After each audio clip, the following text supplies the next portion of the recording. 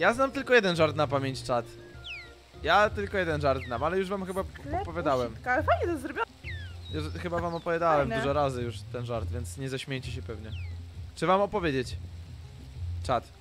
To ja opowiem po raz dziesiąty ten żart. No, no dajesz. Dobra. Biegnie dwóch gości, a to możliwe, że ci opowiadałem już kiedyś, ale to jest jeden żart, jaki znam. Biegnie No. dwóch gości na metę. Mieszko był pierwszy, a Jan Paweł drugi. Jezus Maria. Ja nie, nie opowiadałeś, nie opowiadałeś mi.